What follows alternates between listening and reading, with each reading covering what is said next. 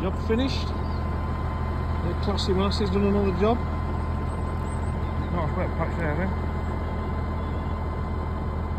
Done it one way, then gone round it other to Chop it up nice. Let's the Belper mill.